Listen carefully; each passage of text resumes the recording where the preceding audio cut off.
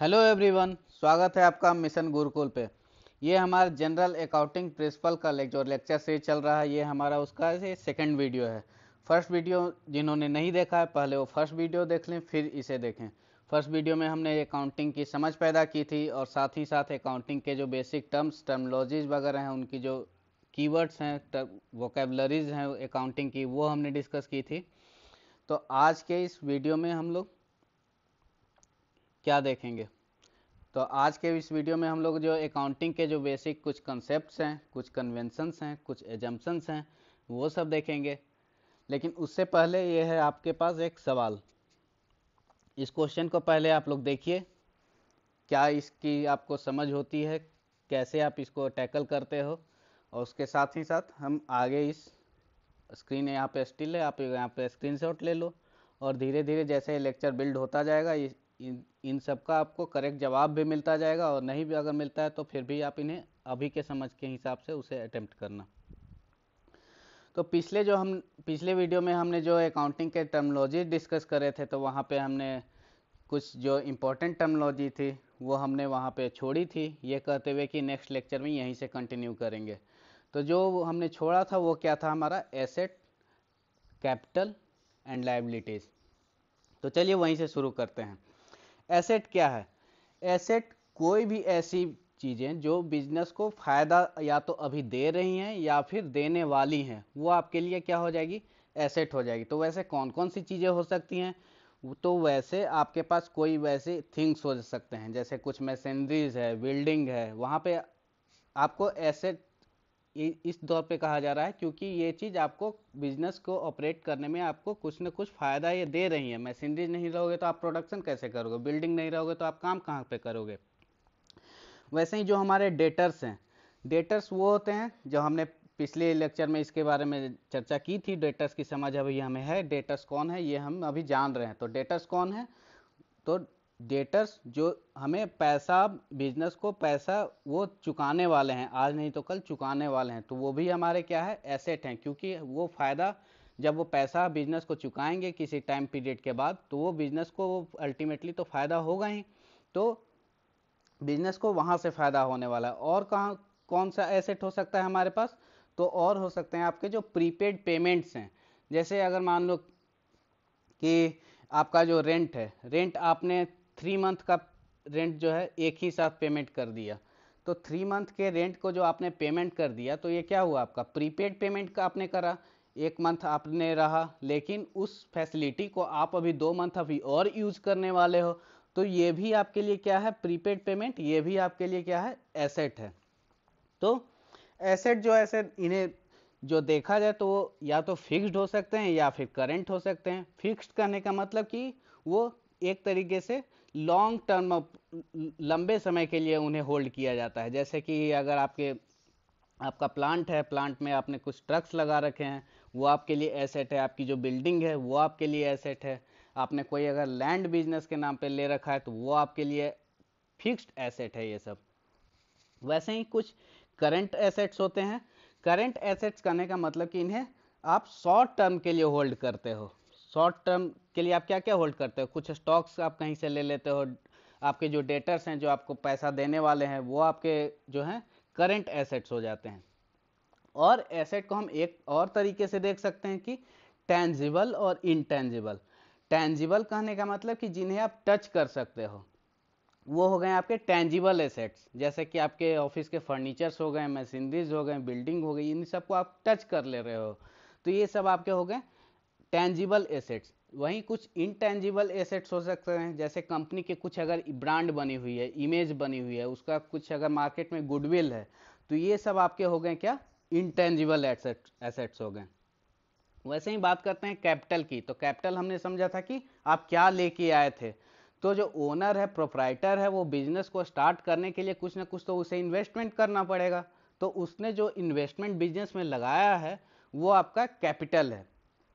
Capital की हमने बात कर ली, अब लाइबिलिटीज देख लेते हैं क्या होता है। तो लाइबिलिटीज वैसे जो नॉर्मल लाइबिलिटी वर्ड है, इससे भी आपकी इसका जो है, जो मतलब है बिल्कुल सेम टू सेम वही मतलब यहाँ पे भी है। जैसे कहा जाता है ना कि मेरे ऊपर ये लाइबिलिटीज़ हैं। लाइबिलिटीज मतलब क्या? आज नहीं तो कल आपको वो काम करना है, आपको आज नहीं तो कल आपको वो कहीं से आपने लोन ले रखा है तो आपको चुकता करना है। तो लाइबिलिटीज कितने तरीके के हो सकते हैं? या तो आपके लोन्स वगैरह हो सकते हैं, वो आपके लाइबिलिटीज हो सकते हैं, या फिर आपने, आपके जो क्रेडिटर्स हैं, आपने जो गोडाउन में सामान मंगाया है, कहीं से मंगाया है, उसे आपने अभी पेमेंट नहीं किया है, वो आज नहीं तो कल आपको तो उसे पेमेंट देना ही है तो वो आपके क्रेडिटर्स हो गए। और आपके आउटस्टैंडिंग एक्सपेंसेस हो गए। जैसे आपके मान लो ऑर्गेनाइजेशन में दस एम्प्लॉय काम कर रहे हैं, आपने आज मंथ की लास्ट तारीख है आज आपको उनको सैलरी देनी थी लेकिन आपने कुछ वजह के कारण उनकी सैलरी रोक ली। सारे स्टाफ की या कुछ स्टाफ की सैलरी रोक ली। दस दिनों के लिए पंद्रह दिनों के लिए आपने उसकी सैलरी नहीं दी। तो ये क्या है? आ, आप अभी रोक लिए उस खर्चे को लेकिन ऐसा नहीं कि वो खर्चा बिल्कुल ही टल गया है बिल्कुल ही खत्म हो गया वो खर्चा। वो खर्च आपको दस दिन के बाद करना ही पड़ेगा जैसे आपका बिजली का बिल है। बिजली का बिल आया आप उसे अभी पेमेंट उसका जो है तुरंत पेमेंट नहीं किया। कि नेक्स्ट मंथ ही कर देंगे। तो वो खर्च, अब नेक्स्ट मंथ तो नेक्स्ट मंथ का भी बिल आएगा तो वो खर्च आपको करना ही पड़ेगा। तो जो आपके आउटस्टैंडिंग एक्सपेंसेज हो गए, वो भी आपकी लाइबिलिटीज हो गई। तो ये हमारे पिछले लेक्चर्स का पार्ट था, जो हमने वहाँ पे छोड़ा था कि हम नेक्स्ट लेक्चर को यहीं से शुरू करने वाले हैं। ये जो सवाल्स वगैरह हैं क्वेश्चंस वगैरह हैं, ये सब आप को एक करते रहना है। आप कमेंट में ये सब बताते रहो कि क्या है, इसका आंसर क्या है, और काफ़ी सारे एम वगैरह क्वेश्चंस मैंने यहाँ पे डाल रखे हैं। आपको बहुत मज़ा आने वाला है।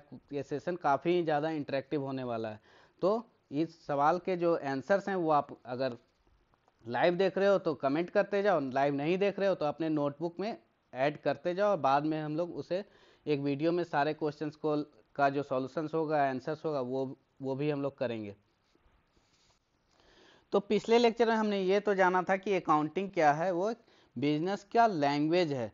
तो बिज़नेस का जब ये लैंग्वेज है तो एक अकाउंटिंग जो हम कर रहे हैं तो इसी लैंग्वेज में हमने हमें कम्युनिकेट करना होगा। अगर बिज़नेस की बात चल रही है तो बिज़नेस की बिज़नेस की हालत कैसी है, उसकी तबीयत अच्छी है, बुरी है तो वो अकाउंटिंग की लैंग अकाउंटिंग की जो भाषा हमने जो समझी थी, उसी भाषा में ये हमें बात, बताना है कि अकाउंटिंग की जो बिज़नेस है बिज़नेस की क्या उसकी खबर है, क्या उसका हाल है, क्या उसका चाल है। तो और हमने ये भी जाना था कि अकाउंटिंग के प्रोसेस को करने के बाद हमें उसे कम्युनिकेट करना है और कम्युनिकेशन वो जो हम करते हैं वो फाइनल अकाउंट्स के फॉर्म में करेंगे। तो ये तो हमने वहाँ तक की बात को डिस्कस कर लिया। अब जितने भी लोग अकाउंटिंग का काम कर रहे हैं, वो तो वो किसी न किसी खास कन्वेंशन को फॉलो करेंगे, किसी न किसी खास जो कॉन्सेप्ट हैं प्रिंसिपल्स हैं, उसे वो उन्हें फॉलो करना ही पड़ेगा। क्यों फॉलो करना पड़ेगा? क्योंकि यूनिफॉर्मिटी बनी रहे। हमने जो काम किया और आपने जो काम किया, किसी और पर्सन ने जो काम किया तो बिल्कुल सेम यूनिफॉर्म सा लगे। ऐसा नहीं कि आपने जो काम करा, वो अब मुझे समझ में नहीं आ रहा है मैंने जो काम करा, वो अब आपको समझ में नहीं आ रहा है। तो ऐसे तो बात चलेगी नहीं। जैसे हमने यहाँ पे कहा कि एक लैंग्वेज है। अगर मैं आपसे कहूँ कि मैं आपसे इंग्लिश में बात करूँगा आप इंग्लिश सीख के आ गए इंग्लिश में बात कर इंग्लिश में आप बात करना चाहे तो फिर मैं आपसे चाइनीज़ में बात करने लग जाऊँ। आप चाइनीज़ भी सीखने चले गए, फिर जब आप चाइनीज़ सीख के आए, मैं आपसे जैपनीज में बात करने लगूँ तो ये तो नहीं चलेगा ना? तो एक कंटिन्यूटी होनी चाहिए, एक कंसिस्टेंसी होनी चाहिए, और वो कैसे आएगी? जब हम कोई खास प्रिंसिपल्स किसी खास जो हमारे कॉन्सेप्ट हैं, उन्हें फॉलो करेंगे तो वो जब, वो जो कॉन्सेप्ट हैं, वो वो जो प्रिंसिपल्स हैं, उन्हें हम क्या कहते हैं? General generally accepted accounting principle G A A P S GAAPs इसे आप पूछा भी जा सकता है, इसकी एब्रीविएशन भी पूछी जा सकती है। हालाँकि ये काफ़ी ज़्यादा कॉमन है एग्ज़ाम में आने की प्रोबेबिलिटी न के बराबर है। गैप्स का फुल फॉर्म तो नहीं पूछा जाना चाहिए, लेकिन फिर भी आप ध्यान रखोगे इसे। तो ये जो गैप्स है जनरली एक्सेप्टेड अकाउंटिंग प्रिंसिपल जो हैं, ये क्या है? हमारे जो अकाउंटिंग का जो प्रोसेस है, उसका एक बैकबोन है।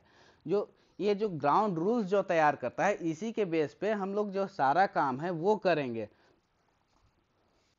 तो जो रेगुलेटरी अथॉरिटीज होती हैं, जैसे इंडिया की रेगुलेटरी अथॉरिटी क्या है? I C A I institute of chartered accountant of India तो ये जो है, कुछ जो रेगुलेशंस बनाते हैं, और फिर बाद में जाके मिनिस्ट्री ऑफ़ कॉर्पोरेट अफेयर्स इन्हें नोटिफाई कर देती है तो वो एक तरीके से नियम बन जाते हैं। तो वो कुछ अपना जो है, प्रिंसिपल जो है, आपको बता बता देती हैं और फिर उन्हीं के तरीके से हमें काम करना होता है।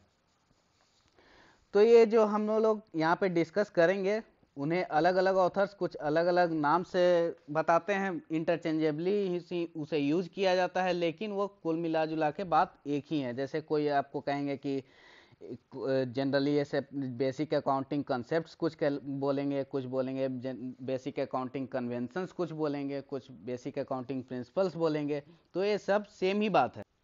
तो चलिए शुरू करते हैं, देखते हैं कौन कौन से हमारे बेसिक अकाउंटिंग कॉन्सेप्ट्स तो बेसिक अकाउंटिंग कॉन्सेप्ट्स जो हमारे हैं, ये यहाँ पे जो मैंने लिस्ट बना के लिख रखा है, ये हमारे हैं बेसिक अकाउंटिंग कॉन्सेप्ट्स इन्हें एज ए कीवर्ड आप लोग ट्रीट करेंगे क्योंकि इन्हीं की समझ से आपका पूरा चैप्टर का समझ बिल्ड होने वाला है।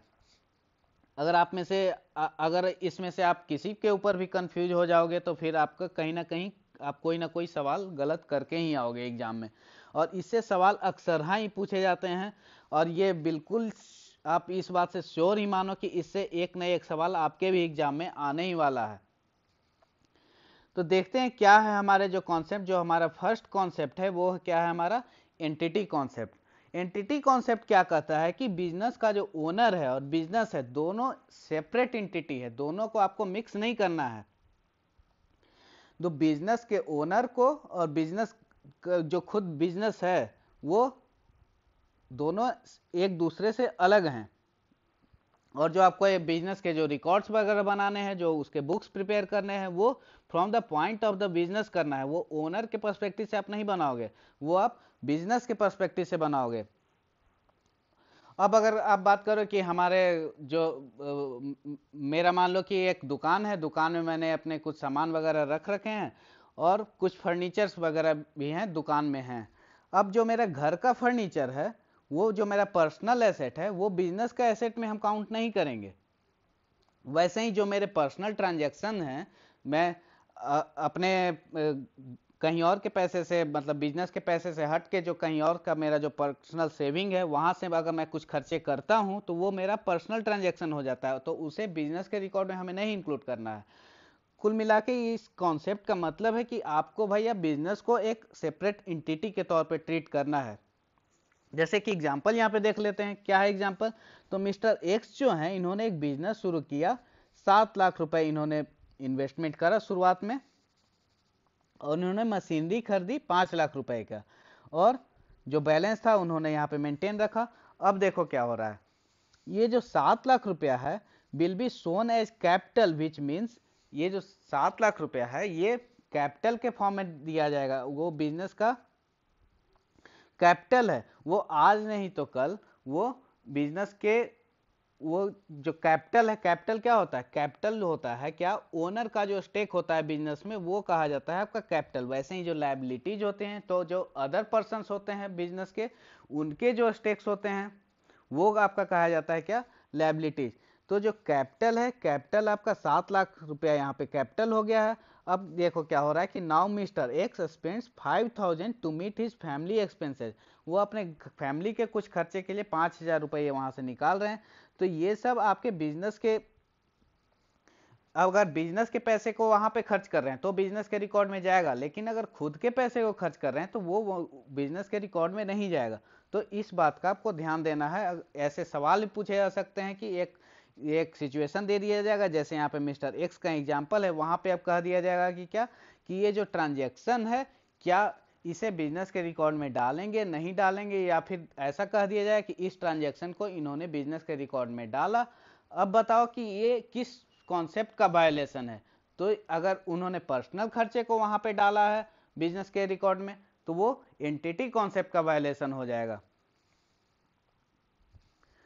अब जो सेकेंड हमारा क्या है? मनी मेज़रमेंट कॉन्सेप्ट है। ये क्या कहता है कि सिर्फ़ वैसे ही ट्रांजेक्शन को हम लोग एक्नॉलेज करेंगे जो कि which can be expressed in terms of money जो पैसे के फॉर्म में हम लोग उसे कर सकते हैं एक्नॉलेज उसे ही सिर्फ़ यहाँ पे हम लोग रिकॉर्ड में लेने वाले हैं। जो कुछ वैसे भी ट्रांजेक्शन्स होते हैं बिज़नेस में जिन्हें पैसे के फॉर्म में नहीं एक्नॉलेज किया ही नहीं जा सकता है। जैसे फॉर एग्जांपल मान लो कि आपने एक मैनेजर को हायर करा। तो मैनेजर को हायर किया, ये क्या एक ऐसा जो इवेंट हुआ मैनेजर को हायर करने वाला तो वहाँ पे पैसे का तो लेन देन अभी हुआ नहीं है। तो इसे हम वहाँ पे बिज़नेस के रिकॉर्ड में अभी लिखेंगे नहीं। हालाँकि वो जो मैनेजर जो है, उसके एक महीने के बाद जब हम उसे सैलरी देंगे, तब वो हमारे खर्चे बिज़नेस के रिकॉर्ड में आ जाएगा। लेकिन और जैसे कुछ हैं, जैसे आपके जो क्रिएटिव टीम है बिज़नेस में जो क्रिएटिव टीम्स होती हैं, काफ़ी स्किल्ड क्रिएटिव टीम है। एक से एक इनोवेटिव आइडियाज़ लेके आती है। तो कोई पर्सन कितना इनोवेटिव है, कितना इंटेलेक्चुअल है, कितना इंटेलिजेंट है, वो सब तो आपको पैसे के फॉर्म में आपको मापने का उसका कोई पैमाना है नहीं। तो वो सब यहाँ पे हम लोगों को करना भी नहीं है। तो जो पैसे के फॉर्म में हम लोग उसे पैसे के फॉर्म में उसका जो एक्नोलेजमेंट हम लोग कर सकते हैं, सिर्फ़ उन्हीं का रिकॉर्ड हमें रखना है। तो ये हो गया आपका क्या? तो मनी मेज़रमेंट कॉन्सेप्ट साथ ही साथ जो क्वेश्चंस यहाँ पे दिए जा रहे हैं, ये मैंने जानबूझ के हैबजट तरीके से रखा है, ऐसा नहीं कि यहाँ पे मैंने मनी मेज़रमेंट कॉन्सेप्ट को यहाँ पे पढ़ाया तो यहीं पे मैंने मनी मेज़रमेंट का ही क्वेश्चन यहाँ पे डाल दिया। हैबजट तरीके से इसलिए रखा है क्योंकि आप लोग थोड़ा दिमाग लगाओ कि हाँ इस, इसके क्या है इसका आंसर चलो ठीक है नेक्स्ट जो हमारा कॉन्सेप्ट है क्या है? गोइंग कंसर्न कॉन्सेप्ट तो गोइंग कंसर्न कॉन्सेप्ट ये कहता है कि आपका जो बिज़नेस है वो आदि अनंत कालों तक आपका चलता रहेगा। ऐसा नहीं कि आपका बिज़नेस जो है तुरंत कल ही खत्म होने वाला है। इस सोच इस सोच के साथ आपको बिज़नेस को अपना चला ही चल, चलाना नहीं है। आपको हमेशा पॉजिटिव थिंकिंग रखनी है कि हमारा बिज़नेस जो है, अभी तो साल, दो साल, पाँच साल, दस साल कुछ होने ही वाला नहीं है, बिल्कुल इनफाइनाइट टाइम तक हमारा बिज़नेस चलने वाला है। तो उसी कॉन्सेप्ट से हम लोग जो अपने बिज़नेस के रिकॉर्ड्स वगैरह को हैं, बनाएँगे। और ये बनाना, ये ये कॉन्सेप्ट इसलिए इंपॉर्टेंट हो जाता है क्योंकि अगर मान लो कि मैंने अपने बिज़नेस में यूज़ करने के लिए कुछ एसेट्स की खरीदारी की, कुछ यहाँ पे मान लो कि हमने कंप्यूटर खरीदा अब कंप्यूटर की अगर कीमत पचास हज़ार रुपए है, फिफ्टी थाउजेंड्स में अगर मैंने कंप्यूटर खरीदा है और कंप्यूटर की जो लाइफ है मिनिमम अगर हम पाँच साल भी अगर मान के चलते हैं कि पाँच साल इस जो हमने यहाँ पे एसेट जो हमारा ये अब आया है, इससे हम पाँच साल तक कुछ ना कुछ सर्विसेज़ लेने वाले हैं। खाली कंप्यूटर का क्या है आपका यूटिलिटी रहेगा? तो उस, वो जो सर्विसेज़ दे रहा है, पचास हज़ार रुपये में आप कंप्यूटर ना लेके वो सब सर्विसेज़ आपने लिया है। कि आप कंप्यूटर से ये सब काम कर सकते हैं और कंप्यूटर ऐसे ही पड़ा रहेगा तो उसका आप क्या बिज़नेस में यूटिल, यूटिलिटी रहेगा आपका? कुछ नहीं। तो वैसे ही पचास हज़ार रुपये का जो आपने कंप्यूटर खरीदा वो आप पाँच साल तक उसकी बेनिफिट आप लेने वाले हो। तो क्या ये पचास हज़ार रुपया जो हमने यहाँ पे खर्चा करा है पचास हज़ार रुपया क्या हमें सिर्फ़ अभी जो मान लो कि आज के डेट में मैंने वो खर्च करा तो सिर्फ़ आज की डेट में ही उसकी एंट्री होगी कि वहाँ पचास हज़ार रुपया का एक कंप्यूटर आ गया। और जो आगे का चार साल हम लोग यूटिलाइज करेंगे, वो क्या उस समय एक नॉलेज उसे नहीं किया जाएगा? जी नहीं। आप जिस जिस भी टर्म के लिए, जिस जिस टाइमलाइन के लिए उसे आप यूज़ करने वाले हो, उस पूरे में उसे आपको डिस्ट्रीब्यूट करना पड़ेगा। अगर पाँच साल के लिए आप, आपका वो बेनिफिट दे रहा है तो दस साल, दस हज़ार दस हज़ार दस हज़ार करके आपको पाँच साल तक उसे दिखाना पड़ेगा। और ये हम कब क्यों कर पा रहे हैं इस तरीके का काम? क्योंकि हम, हमने ये मान रखा है कि बिज़नेस जो है, अब अगर बिज़नेस जो है हमारा इन्फानाइट टाइम तक चलने वाला है। पाँच साल तो कम से कम चलने ही वाला है। अगर हम पाँच साल तक उसके फ़ायदे की जो बात कर रहे हैं कि पाँच साल वो कंप्यूटर हमारा फ़ायदा देने वाला है तो पाँच साल से तो ज़्यादा ही चलेगा हमारा बिज़नेस ये हम मान के ये काम कर रहे हैं। अगर मान लो कि, अब मैं ये मान के बैठ जाऊँ कि ये जो मेरा बिज़नेस है, अगले ही महीने ये अब तो ख़त्म होने वाला है। तो फिर ये पचास हज़ार को हम पाँच साल तक की कैसे डिस्ट्रीब्यूट कर पाएँगे? नहीं कर पाएँगे। उसे वहाँ पे पचास हज़ार का तुरंत वहाँ पे एक मुश्त वहाँ पे जो एक्सपेंस है वो शो करना पड़ेगा। तो ऐसा न करना पड़े, ऐसा न करना पड़े क्योंकि ऐसा करने से जो हमारे जो रिकॉर्ड्स हैं, उनकी जो ट्रू वैल्यू जो है निकल के नहीं आती है। तो ये गोइंग कंसर्न कॉन्सेप्ट हो गया। अब आगे देख लेते हैं कि ये जो गोइंग कंसर्न कॉन्सेप्ट है, ये तो कह दिया कि अपना बिज़नेस जो है इन्फानाइट टाइम तक चलेगा। तो क्या हम कभी उस बिज़नेस को कैसा परफॉर्म कर रहा है, कैसे उसके मतलब कि उत्थान पे है, पतन पे है हमें प्रॉफिट हो रहा है लॉस हो रहा है, ये तो हमें पता ही नहीं चलेगा। फिर अब कोई चीज़ अब ख़त्म हुआ, कोई कोई चीज़ अब प्रोसेस कंप्लीट हुआ, तब ना हम उसका आकलन कर पाएँगे कि हाँ भाई ये है तो क्या है मुझे फ़ायदा दे रहा है, नुकसान दे रहा है। तो इसके लिए हमें क्या कर इस इस समस्या के समाधान के लिए क्या आया है? यहाँ पे पीरियोडिसिटी कॉन्सेप्ट आया है। पीरियोडिसिटी कॉन्सेप्ट क्या कहता है कि आपको एक खास पीरियड के लिए, जैसे कि अगर वन ईयर की बात करें तो एक साल के बाद आपको अपने जो स्टेटमेंट्स हैं, आपके जो अकाउंट्स हैं, जो फाइनल अकाउंट्स वगैरह बैलेंस शीट वगैरह आप तैयार कर रहे हो तो हर साल के लिए आपको तैयार करना है एक एक साल के लिए तैयार करना है। और उसी के हिसाब से हम अपना कंपेरिजन करते रहेंगे कि हाँ हमारा क्या प्रोग्रेस है, हमने फ़ायदा किया, नुकसान किया, ये सब हम पीरियोडिसिटी कॉन्सेप्ट से वो कर पाते हैं। लेकिन उससे पहले देख लेते हैं क्या है हमारा एक्रुअल कॉन्सेप्ट तो एक्रूअल कॉन्सेप्ट ये कहता है कि जो भी हमारे जो इफ़ेक्ट ऑफ़ ट्रांजेक्शन हैं, वो कैसे रिकॉर्ड हमें करने हैं तो वो मर्केंटाइल बेसिस पे करने हैं। मर्केंटाइल बेसिस पे कहने का क्या मतलब है कि जो भी, जो हम, जो फाइनेंस फाइनेंशियल जो हमारा स्टेटमेंट होने वाला है तो उसमें जिस पीरियड के लिए जो भी हमारा एक जो कॉस्ट है, जो रेवेन्यू है, जो एक्सपेंस है, वो उसी पीरियड के लिए हम रिकॉर्ड करेंगे। और क्या कहता है ये कॉन्सेप्ट तो ये कॉन्सेप्ट ये भी कहता है कि जो भी हमारे जो रेवेन्यू और कॉस्ट हैं वो उन्हें हमें तब रिकॉग्नाइज करना है कि जब वो इनकर हो रहे हैं, जब वो घटित हो रहे हैं। ऐसा नहीं कि हम पैसे का इंतज़ार करें कि जब पैसे हमारे पास आए, तब हमें उन्हें एक्नॉलेज करना है। जैसे हमने दुकान का एग्ज़ाम्पल लिया था तो दुकान से हमने, अगर कोई वहाँ पे दुकान पे सामान बेचा है तो दुकान पे जब हमने ये इवेंट जब हो गया, दुकान के सामान के बेचने का जो काम हो गया, उसी टाइम उसी टाइम उसी डेट पे हमें वहाँ पे एक्नॉलेज उसे कर लेना है।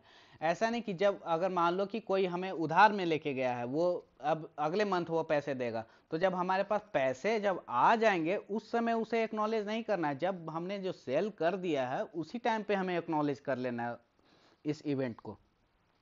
जैसे फॉर एन एग्ज़ाम्पल यहाँ पे एक एग्ज़ाम्पल मैंने ले रखा है, इससे देख लेते हैं क्या है तो मिस्टर जॉन जो हैं, ये इन्होंने कपड़े खरीदे कुछ पचास हज़ार रुपए के। और पचास हज़ार रुपए के जो इन्होंने कपड़े जो खरीदे हैं बीस हज़ार रुपए इन्होंने कैश में दिया है। और जो इन्होंने कपड़े खरीदे और उसे फिर साठ हज़ार रुपए में इन्होंने फिर बेचा भी उसे। अब बेचने पे जो उन्हें पैसा मिला है अभी पचास हज़ार ही रुपया उन्हें मिला है। दस हज़ार हो सके कि अभी थोड़े कुछ समय के बाद मिलेगा। तो और और इस प्रो, पूरे प्रोसेस में उन्हें पाँच हज़ार रुपए का कुछ एक्सपेंस भी करना पड़ा। तो एक्रूअल कॉन्सेप्ट हमारा जो ये कहता है, क्या करता है कि एक्रूअल कॉन्सेप्ट ये कहेगा कि आपने पचास हज़ार रुपया का जो, एक तो आपका जो कॉस्ट क्या लगा? पचास हज़ार रुपये के ही आपने कपड़ा जो खरीदा है और बेचा कितने में? साठ हज़ार में बेचा है।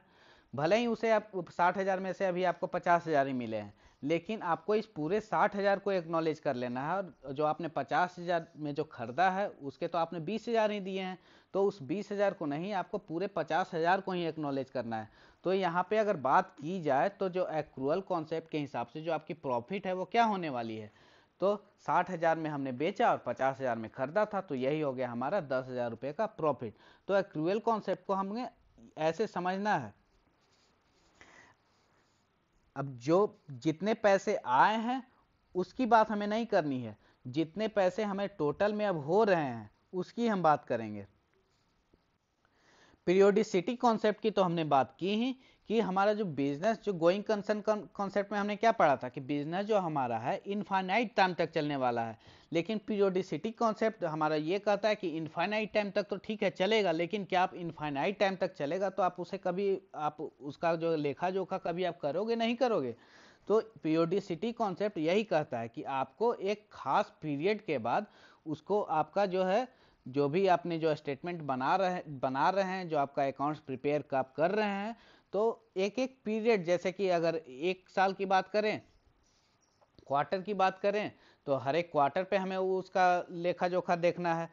ईयरली बात करें, जो हमारा जो फाइनेंशियल ईयर जो होता है थर्ट फ़र्स्ट अप्रैल से लेकर थर्टी फ़र्स्ट मार्च तक तो जनरली इसी जो पीरियड की हम बात करते हैं।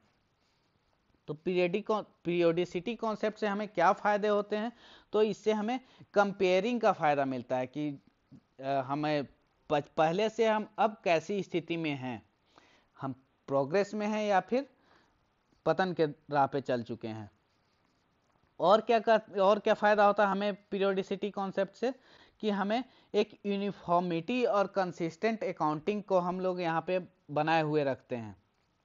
जिससे क्या होता है कि यूनिफॉर्मिटी रहने से, कोई अगर बिज़नेस से अगर बाहर का जो पर्सन है, उस, वो भी उसे देख के समझ सकता है कि वो हर एक पीरियड में मान लो कि इस पीरियड में मैंने कुछ जिस तरीके से मैंने काम करा है, ये सब तो एजम्पन्स हो ही गए। लेकिन कुछ वैसे भी होते हैं, कुछ वैसे भी तरीके होते हैं जो, जैसे कि आपका इन्वेंट्री का वैल्यूएशन करना है। आपका जो डिप्रेंस डिप्रेसिएशन है, वो आपके डिप्रे डिप्रिसिएशन काउंट करना है। कितना डिप्रेसिएशन होगा, उसका आकलन करना है। तो इन सब के कुछ अलग अलग तरीके होते हैं। वो जिस जिस तरीके से मैं काम कर रहा हूँ, ज़रूरी नहीं कि आप भी उसी तरीके से काम कर रहे हो। लेकिन मैं जिस तरीके से अब काम कर रहा हूँ तो जिस तरीके से मैं इस साल काम कर रहा हूँ, उसी तरीके से मैं अगले साल भी काम करूँगा। उसी तरीके से उसके नेक्स्ट ईयर भी काम करूँगा। और आप जिस तरीके से आप कर रहे हो, आप भी उसी तरीके से ईयर बाय ईयर आप उसे ही फॉलो करोगे। ऐसा नहीं कि आ, जैसे डिप्रिसिएशन काउंट काउंट डिप्रिसिएशन का आकलन करने के लिए आप एक होता है रिटर्न डाउन वैल्यू आप अभी वो वैल्यू अभी यूज़ कर लिए फिर नेक्स्ट टाइम कहीं को, कोई अलग ही वैल्यू यूज़ कोई अलग ही तरीका यूज़ कर लिए। तो ऐसा नहीं चलेगा। हर एक पीरियड के बाद आपने जो अपना जो तरीका अपनाया है वो आपको फॉलो करना ही है। बात करते हैं कॉस्ट कॉन्सेप्ट की। और जो साथ साथ यहाँ जो क्वेश्चंस लिखे हुए हैं क्वेश्चंस आपको लगातार ही करते जाने हैं। क्योंकि क्वेश्चन से क्वेश्चन मैंने यहाँ पे काफ़ी भर भर के सवाल डाले हुए हैं और ये क्वेश्चंस भी बहुत ज़्यादा इंपॉर्टेंट होने वाले हैं। क्योंकि जो आपने जो कॉन्सेप्ट यहाँ पे समझा है, उसकी जो समझ है, वो आपको, आप बिल्ड कर पाए हो या नहीं कर पाए हो, वो आपके क्वेश्चन सॉल्विंग से ही पता चलेगा। आगे बढ़ते हैं, देखते हैं क्या है हमारा कॉस्ट कॉन्सेप्ट। तो जो कॉस्ट कॉन्सेप्ट है, ये ये कह रहा है कि जितने भी एसेट्स हैं, वो हमें अपने जो परचेज प्राइस है, उस पर एक्नॉलेज करना है। और परचेज प्राइस हमें क्या क्या हो जाता है? तो कॉस्ट ऑफ़ एक्विजिशन, आपने अगर कोई मशीनरी खरीदी है तो आपको कितने की पड़ी है, वो आपका हुआ कॉस्ट ऑफ़ एक्विजिशन। वो मशीनरी को आपको जो है वेयर हाउस जहाँ से भी आपने खरीदा हो, उस उस जगह से अपने जो है कंपनी है, वहाँ तक लाने का, कुछ ट्रांसपोर्टेशन का चार्ज आपका लगा होगा तो वो भी इंक्लूड होगा। साथ ही साथ इंस्टॉलेशन का आपको चार्ज देना पड़ा होगा तो वो भी इंक्लूड होगा। और साथ साथ उस मशीन को जो कन्फिगर करने के लिए, उसे रेडी टू यूज़ करने के लिए अगर कुछ आपको खर्चे करने पड़ रहे हैं तो वो सब आपको जो जो परचेज प्राइस है, उसमें आपको इंक्लूड करके यहाँ पे आपको अकाउंट में शो करना पड़ेगा। तो कौन कौन से खर्चे हो गए? तो एक तो आपने जो जिस प्राइस पे खरीदी, ट्रांसपोर्टेशन और फिर इंस्टॉलेशन और जो making making it ready to use करने के लिए आपको जो जो खर्चा करने पड़े, अपने किसी एसेट्स को, वो सब आपको यहाँ पे इंक्लूड करना है। जैसे एग्जांपल के तौर पे देख लेते हैं कि जून 2005 को an old plant was purchase मैंने एक पुराना प्लांट खरीदा पचास लाख रुपए का किससे खरीदा सीवा इंटरप्राइज से मैंने खरीदा और फिर an amount of rupees ten thousand दस हज़ार क्या, किस बात के खर्चा हुआ? तो ट्रांसपोर्टेशन का हुआ दस हज़ार का खर्चा। पंद्रह हज़ार किस बात का हुआ? तो पंद्रह हज़ार जो मैंने पुराना खरीदा था, उसे कुछ रिपेयर करवाना पड़ा। और पच्चीस हज़ार उसका इंस्टॉलेशन का चार्ज हुआ। तो टोटल कितना खर्चा हो गया? ये हमारा जो है, उस एसेट की अब जो है वैल्यू वहाँ पे लिखेंगे, वो टोटल यहाँ पे लिखेंगे। कितना हो गया? फिफ्टी लैक्स तो यहाँ हो गए ट्वेंटी फाइव और फिफ्टी फिफ्टीन फोर्टी और दस यहाँ पे और पचास पचास हज़ार और हो गए तो ये हमें यहाँ पे पचास हज़ार, पचास लाख पाँच हज़ार ये शो करना पड़ेगा। एक और बात यहाँ पे ध्यान ध्यान रखना है कि जो कॉन्सेप्ट ऑफ़ कॉस्ट है, वो क्या है? आपका हिस्टोरिकल इन नेचर है। मतलब इसका ऐसा होने का क्या फ़ायदा है? एक एक फ़ायदा तो एक मेन फ़ायदा तो ये है कि आप, कि आपने जो भी खरीदा, मान लो कि आपने कोई मशीनरी दस साल पहले खरीदी थी तो आपके वहाँ पे जहाँ से खरीदी थी, आपको कुछ वाउचर्स वहाँ पे मिले होंगे। तो वेरीफाई वगैरह करने में इससे काफ़ी ज़्यादा सहूलियत हो जाती है क्योंकि आपके पास एक रिटर्न में मौजूद है कि ये मशीनरी जो है अपने आप जो भी सामान जो आप खरीदे थे ये इतने रुपए की खरीदे थे तो वेरिफिकेशन काफ़ी आसान हो जाता है। साथ ही साथ कुछ आपका नुकसान भी है क्योंकि ये टाइम को जैसे पैस, पैसे का समय के साथ उसकी जो वैल्यू कम होती जाती है। इस फैक्ट को ये एक्नॉलेज ये नहीं करता है। तो कुछ फ़ायदे हैं तो कुछ नुकसान भी है। तो इन कॉस्ट कॉन्सेप्ट हमने देख लिया, अब आगे बढ़ते हैं, देखते हैं क्या है हमारा डुअल आस्पेक्ट कॉन्सेप्ट ये आपका सबसे ज़्यादा इंपॉर्टेंट कॉन्सेप्ट आपका यही है डुअल आस्पेक्ट कॉन्सेप्ट इसे कहा जाता है कि फाउंडेशन और बेसिक प्रिंसिपल ऑफ़ अकाउंटिंग और ये क्या कहता है कि ये ये कहता है कि जो भी आपके ट्रांजैक्शन हो रहे हैं, उसकी कम से कम तो दो एंट्री आपकी बनेगी ही बनेगी। आपके हर एक ट्रांजैक्शन को दो जगह कम से कम तो रिकॉर्ड आपको करना ही है। जैसे आपका कोई भी ट्रांजैक्शन है तो या तो आपका डेबिट होगा या अगर कहीं डेबिट हो रहा है तो कहीं पे वो किसी के अकाउंट में वो क्रेडिट भी होगा। ऐसा नहीं कि सिर्फ़ डेबिट डेबिट ही हुआ और क्रेडिट कहीं हुआ ही नहीं। आपके लिए जो चीज़ डेबिट है, किसी और के लिए वही चीज़ क्रेडिट भी हो सकती है। तो इस बात का ये हमें ध्यान यहाँ पे रखना है।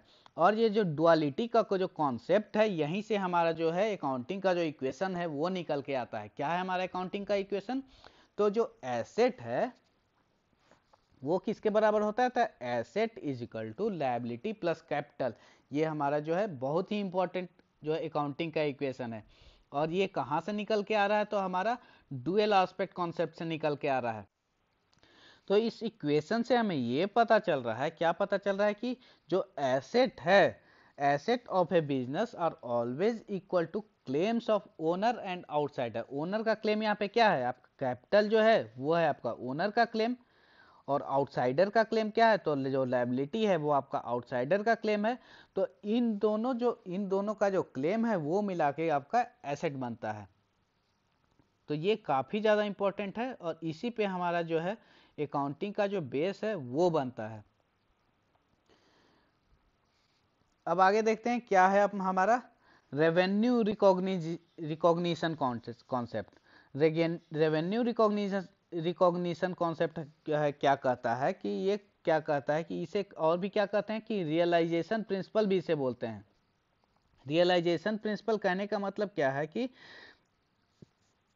जैसे आपने कुछ अगर सामान को अगर बेचा है the revenue is assume to be realise when a legal right to receive receive it arises आपने जो सामान को बेचा तो आप बेचने के बाद आपको तुरंत ही आपको एक वहाँ पे लीगल राइट आपको मिल जाता है कि आप मान लो कि सौ रुपये का अगर कुछ सामान बेच रहे हो तो जो पर्सन एक्स है, इससे अगर ये आपका खरीदार है, इसे आप बेच रहे हो तो आपके पास ये बेचने के साथ ही आपके पास एक अधिकार यहाँ पे आ जाता है कि सौ रुपये की वसूली आप इससे करो।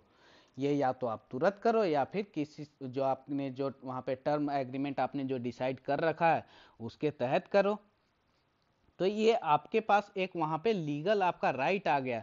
जैसे कोई एम्प्लॉयर कोई एम्प्लॉय है, कहीं पे काम कर रहा है तो जैसे ही महीने का एंड हुआ, महीने, एक महीने तक उसने वहाँ पे अपनी सर्विस प्रोवाइड करी तो महीने के जो उसका जो डेट है, जिस डेट को उसका सैलरी जो है, उसे क्रेडिट होना चाहिए। उस डेट के बाद उसे लीगल राइट right मिल जाता है कि वो जो है, जहाँ से भी उसकी सैलरी मिल रही है, वहाँ पे वो क्लेम कर सके कि हाँ मेरी जो इतनी तनख्वाह है, वो हमें अभी तक मिली नहीं। आपका अधिकार बनता है मेरा अधिकार बनता है, ये लेना और आपको आपको ये देना है। तो ये कहता है हमारा क्या? रेवेन्यू रिकॉग्निशन कॉन्सेप्ट और इसका कुछ एक्सेप्शन भी हो जाता है। एक्सेप्शन क्या हो जाता है कि जैसे कि मान लो कि अगर कंस्ट्रक्शन जैसे कोई ऐसा काम है कि बहुत ज़्यादा दिन तक चलने वाला है जैसे ये कंस्ट्रक्शन का काम है। तो कंस्ट्रक्शन का काम ऐसा नहीं कि तुरंत ही आपने किसी कंस्ट्रक्टर को हायर करा और उसने तुरंत आके विश्वकर्मा की तरह ऐसे करा और वो बन के तैयार हो गया। ऐसा तो होता नहीं है। वो ग्रेजुअली धीरे धीरे बनता है और ये बनने में दो साल, तीन साल कभी कभी और ज़्यादा समय भी लग जा सकते हैं। तो क्या? जो भी इसका जो एक्नॉलेजमेंट हो रहा है, ये पूरे जो जो पीरियड है, उसके ख़त्म होने के बाद होगा। दो साल, तीन साल, जो, जितना भी पीरियड है, वो जब बन के तैयार हो जाएगा, तब किया जाएगा? जी नहीं। तो यहाँ पे इसका जो एक्सेप्शन है, ये यहाँ पे आ जाता है कि जो लंबा ड्यूरेशन का जो भी हमारा काम है तो उसमें हम उसे ब्रेक कर, करके उसके जो है खर्चे का एस्टिमेट वगैरह, ये सब हमें लगा, लगाना पड़ता है। एक बात और जो इस कॉन्सेप्ट के तहत जो हम रेवेन्यू जो हमारा निकल के आता है तो रेवेन्यू जो हमारा जो आता है, जो हम क्रेडिट पे सेल कर रहे हैं तो क्रेडिट सेल्स कर रहे हैं तो वो हमारा, वो हमें हमें ऐसे ट्रीट करना है कि हमें जो पैसे जो हैं मिल चुके हैं। Thus the credit sales are treated as revenue on the day sales are made हम, मैं अगर आज क्रेडिट पे कुछ सामान की बिक्री कर रहा हूँ तो मुझे ये यहाँ पे इस जो रेवेन्यू रिकॉग्निशन कॉन्सेप्ट जो है, ये कह रहा है कि आप उसकी एक्नोलेजमेंट उसी डेट को करोगे। ऐसा नहीं कि जब आपको पैसे जब आपको मिलेंगे, तब आपको उसकी एक्नोलेजमेंट करनी है। तो रेवेन्यू रिकॉग्निशन कॉन्सेप्ट हमारा हो गया। अब हम देखते हैं क्या है हमारा मैचिंग कॉन्सेप्ट तो मैचिंग कॉन्सेप्ट क्या कहता है कि हमें जो हमारा जो एक्सपेंसेज है और रेवेन्यू है, उन्हें मैच करना है। एक्सपेंसेज और रेवेन्यू को हम मैच कैसे करेंगे कि जो, जिस रेवेन्यू को जनरेट करने के लिए हम जो एक्सपेंसेस कर रहे हैं, हमें उसी, उन्हीं का सिर्फ़ एक्नॉलेजमेंट करना है। जैसे यहाँ पे हम एक एग्जांपल ले लेते हैं। ये क्वेश्चन मैंने यहाँ पे दिया था। ये क्वेश्चन आपका ये रहा। तो एग्ज़ाम्पल ये क्या कर रहा है? कह रहा है कि मोहन परचेज गुड्स उस मोहन ने पंद्रह लाख रुपए के कुछ गुड्स खरीदे। और उस गुड्स के four fifth of this goods उसने उसे 18 लाख रुपए में बेचे। और इस दरमियान उसे जो है एक्सपेंसेज जो इसने, जो एक्सपेंसेज इसके हुए, दो लाख पचास हज़ार रुपए का एक्सपेंसेज हुआ फॉर दिस ईयर मतलब इसने पंद्रह लाख रुपए का सामान खरीदा था और उसके फोर फिफ्थ पार्ट को अठारह लाख रुपए में बेचा और इस जो एक्सपेंस जो एक्सपेंस हो रहे हैं, इस प्रोसेस को करने के लिए ढाई लाख रुपए का उसका और कुछ खर्च हो रहा है। और accounted net profit as rupees इतना तीन लाख पचास हज़ार रुपए का उसने नेट प्रॉफिट वो अपने करा। तो इसने किस कॉन्सेप्ट को यहाँ पे यूज़ करा है? तो जैसे यहाँ पे पंद्रह लाख रुपए की उसने जो खरीदारी की थी, इसका फोर फिफ्थ कितना होगा? बारह लाख ही होगा। तो यहाँ पर जो हमें ये जो उसके परचेज है, उसकी वैल्यू को लेना है। पूरा पंद्रह लाख को यहाँ पे नहीं लेना है। ट्वेल्व लैक्स को ही लेना है। तो यहाँ पे देखो ट्वेल्व लैक्स की इसने क्या की? खरीदारी की। और बेचा कितना में इसने ने? अठारह लाख में बेचा। और दो लाख पचास हज़ार रुपए का इसका और मिसलिनियस कुछ खर्चे हो रहे हैं। तो दो लाख पचास हज़ार यहाँ पे अभी और ऐड हो जाएगा। और इसके जो टोटल जो प्रॉफिट बचेगा मतलब कि 14.5 इसके खर्चे हो गए और 18 इसका क्या है, जो इसने यहाँ से जो रेवेन्यू जनरेट करा है तो टोटल इसका जो प्रॉफिट है इस पीरियड का क्या हुआ? 3.5 लाख ही हुआ। तो ये यहाँ से आपको ये किस कॉन्सेप्ट का यूज़ कर रहा है? तो ये मैचिंग कॉन्सेप्ट का यूज़ कर रहा है। ये पूरा का पूरा जो हमारा जो परचेज है, उसे यहाँ पे अकाउंट में नहीं लेना है। जो जिस रेवेन्यू जिस एक्सपेंस को हम जहाँ पे जिसके जिसके रेफरेंस पे जिस जिस दौरान हम लोग कर रहे हैं, सिर्फ़ उसे ही लेंगे। चलिए, ये तो हमने समझ लिया मैचिंग कॉन्सेप्ट अब आगे देखते हैं। क्या है हमारा? जो कंजर्वेटिज्म है, ये क्या कहता है? इसे हम कंजर्वेटिज्म कॉन्सेप्ट का, इसका एक और नाम है, प्रूडेंस कॉन्सेप्ट भी इसे कहते हैं। ये ये जो प्रूडेंस कॉन्सेप्ट है, ये ये कहता है कि जो जो भी हमारे जो प्रॉफिट्स हो रहे हैं, उन्हें प्रॉफिट जो होने वाले हैं, उन्हें हमें तब तक एक्नॉलेज नहीं करना है, जब तक वो एक्चुअल में हो नहीं चुके हों। और जो भी हमारे जो लॉसेज हैं, उन्हें लॉसेज को हमें उसी वक्त एक्नॉलेज कर लेना है कि जब उसकी थोड़ी सी प्रोबेबिलिटी भी दिखाई दे। तो ये आपका क्या कहता है ये? प्रूडेंस कॉन्सेप्ट कहता है। और इस प्रूडेंस कॉन्सेप्ट में आप देखो कि अकाउंटेंट जो प्रूडेंस प्रूडेंस कॉन्सेप्ट को जो वहाँ पे जो अपने यूटिलिटी में जो लेते हैं तो जो एसेट्स हैं, उनको क्या करते हैं वो कि अंडर एस्टिमेट करके दिखाते हैं। और जो हमारे जो खर्चे हैं लॉसेज हैं उन्हें ओवर एस्टिमेट करके दिखाए हुए रहते हैं। वो ऐसा क्यों करते हैं? क्योंकि अगर जो लॉसेज हैं, ठीक है, अभी हुए नहीं हैं, लेकिन अगर वो लॉस सही में अगर हो गया, तब तो फिर फिर हमारा मतलब कि काफ़ी ज़्यादा वो गलत बात है। अगर लॉस होना तो बिज़नेस में ऐसे ही गुनाह के तौर पे माना जाता है। तो उस, उसी को हम लोग सावधानी के तौर पे क्या करते हैं कि जो हमारे जो प्रॉफिट हैं, उन्हें हम जो हम जो आकलन करते हैं, वो कम करके आकलन करते हैं और जो हमारे जो लॉसेज हैं, उन्हें लॉसेज को हमें पहले ही वहाँ पे हमें शो कर देते हैं। अब ऐसा नहीं कि जो हम प्रॉफिट है, वो एक्चुअल प्रॉफिट हम दिखाएँगे ही नहीं, दिखाएँगे लेकिन जो, जब हमारा जो प्रोसेस कंप्लीट हो जाएगा, तब हम उसे दिखाएँगे। पहले से ही उसे हड़बड़ी करके दिखाने की ज़रूरत नहीं है। ये आपका कहता है आपका प्रूडेंस कॉन्सेप्ट फिर नेक्स्ट क्या है हमारा? तो कंसिस्टेंसी कॉन्सेप्ट है। तो कंसिस्टेंसी कॉन्सेप्ट का हमने पहले भी ज़िक्र कर, किया था इसके बारे में कि ये क्या कहता है कि आप जो इस, जिस कन्वेंशन को फॉलो कर रहे हो तो कंसिस्टेंटली आपको उसी कन्वेंशन को फॉलो करते जाना है। इससे हमारा क्या फ़ायदा हो जाता है? तो फ़ायदा ये होता है कि हमारा जो जिस प्रिंसिपल को हम फॉलो कर रहे हैं तो एक तो अगर हम किसी प्रिंसिपल को, के तहत हम काम कर रहे हैं तो उससे हमारा जो है डेविएशन है, वो नहीं होता है। साथ ही साथ, हमारी जो यूनिफॉर्मिटी है, वो बनी हुई रहती है। एक ही तरीके के हम पैटर्न को हमेशा ही फॉलो कर रहे होते हैं। तो ये सब हमारे कुछ जो है कंसिस्टेंसी कॉन्सेप्ट के फ़ायदे हैं। क्वेश्चन है यहाँ पर क्वेश्चन क्या कर रहा है कि अब यहाँ पे हमने काफ़ी सारे कॉन्सेप्ट को देख चुके हैं। तो कुछ क्वेश्चन हैं, उन्हें देखते हैं। क्वेश्चन क्या कर रहा है कि अरुण जो है परचेज ए कार, पाँच लाख रुपए का उसने कार खरीदा। और उसकी डाउन पेमेंट उसने एक लाख रुपए की डाउन पेमेंट की, और चार लाख रुपया उसने साइन करके दे दिया कि हाँ सिक्सटी डेज़ में हम आपको देंगे। मतलब एक एग्रीमेंट कर लिया कि हाँ सिक्सटी डेज़ में आपको चार लाख रुपए का पेमेंट कर दिया जाएगा। तो as a result of this transaction क्या हो रहा है? टोटल जो है, उसका एसेट है। The asset increase by rupees five lakh ये आपका सही आंसर है या ये सही आंसर है? ये आप देख के बताओ, इसका क्या होगा, इसका सही आंसर जो यहाँ पे देखो प्रोसेस देखो तो हो क्या रहा है? तो अरुण ने कार की परचेजिंग की तो उसके पास कार एज एसेट वहाँ पे बढ़ जा रहा है। साथ ही साथ उसने एक लाख रुपए का वहाँ पे पेमेंट किया है, जो भी डाउन पेमेंट करा है, उसने एक लाख रुपए का करा है तो एक लाख रुपए से उसकी जो एसेट पहले कैश थी, वो घट गई है।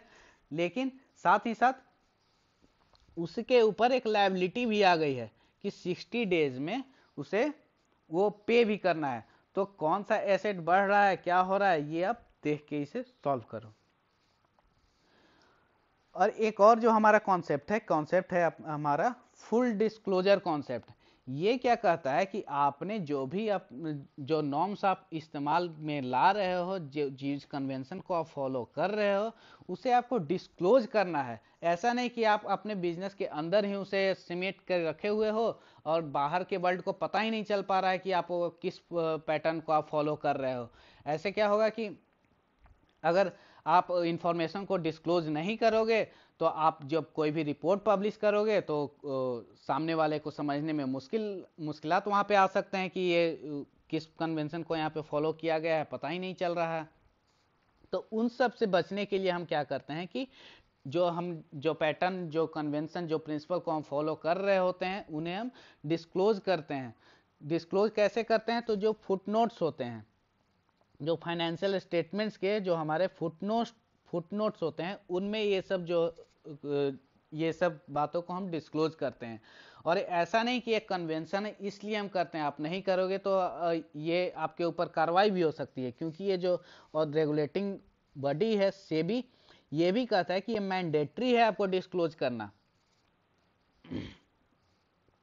आगे बढ़ते हैं, देखते हैं क्या है हमारा मेटेरियलिटी कॉन्सेप्ट और यही हमारा लास्ट कॉन्सेप्ट है। उसके बाद हम देखेंगे कि क्या है हमारा फंडामेंटल अकाउंटिंग एजम्पन्स नेक्स्ट है हमारा क्या? मेटेरियलिटी कॉन्सेप्ट तो मेटेरियलिटी कॉन्सेप्ट है, ये क्या कहता है कि जो हमारा अकाउंटिंग है, वो should focus on material facts वो अकाउंटिंग जो है हमारा मेटेरियल फैक्ट्स पे फोकस करता हुआ होना चाहिए। तो यहाँ पे अब जानने की बात है कि मेटेरियल फैक्ट्स है क्या?